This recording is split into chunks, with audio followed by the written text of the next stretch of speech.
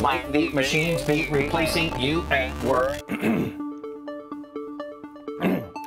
A troubling new report is out that says that a surprising percentage of positions in each state could be lost to automation. And DFW is predicted to be the sixth worst metro for the impending takeover by worker robots. Cashiers, retail sales, and fast food gigs are the most at risk.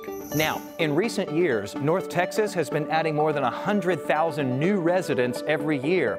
If you are a recent out of state transplant here and you owned your home on January 1st, you should know you could qualify for what's called a homestead exemption. It knocks tens of thousands of dollars off the valuation of your property when your taxes are being calculated. I have more info on my social media channels in case you're new to town. And welcome, and you're welcome. Also on social media this year, I've been asking for your secret money hacks, and I love these two tips that have fallen into our grocery cart. Cheryl says, hit the grocery stores early on Tuesdays. That's the likeliest time to find clearance meats. Didn't know that.